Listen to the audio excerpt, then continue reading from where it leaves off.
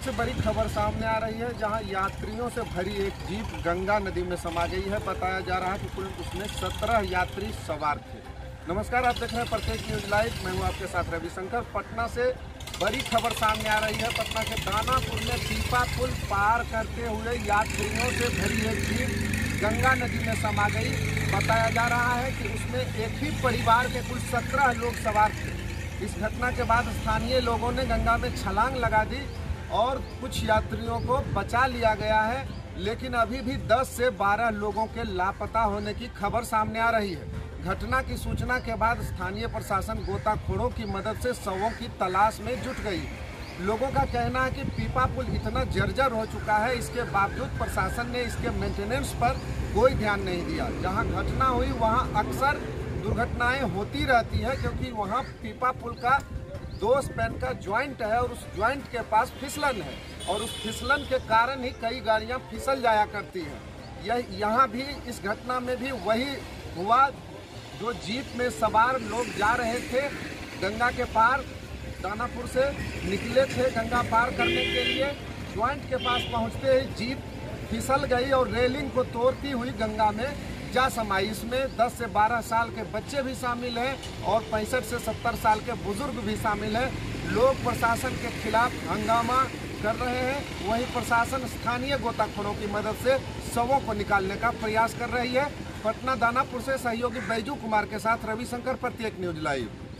पटना के दानापुर से बड़ी खबर सामने आ रही है, जहाँ अले सुबह गंगा नदी पर बना पीपा पुल पर यात्रियों से भरा एक जीप पीपा पुल के रेलिंग तोड़ते हुए गंगा नदी में जा समाई। इस घटना में लगभग सत्रह लोग यात्री सवार थे।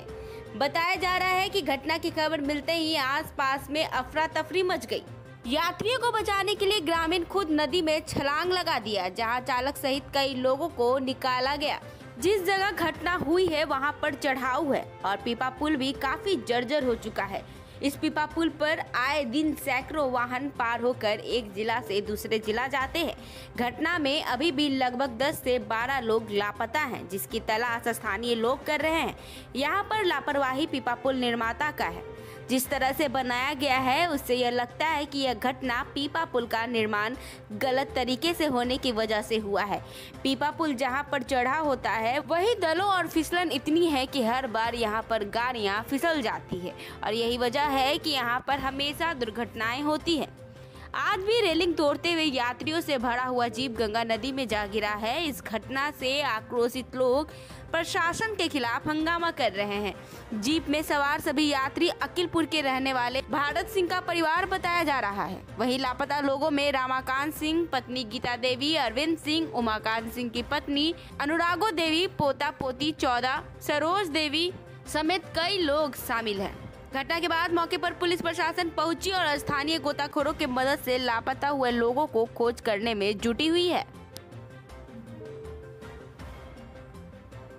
पटना के दाना पीपा पुल पे दुर्घटना हो गया तिलक से आ रहे थे हम लोग और फिर घर के लिए जा रहे थे लोग वही गाड़ी पीपा पुल में डूब गई। कितने सदस्य थे दस आदमी लगभग।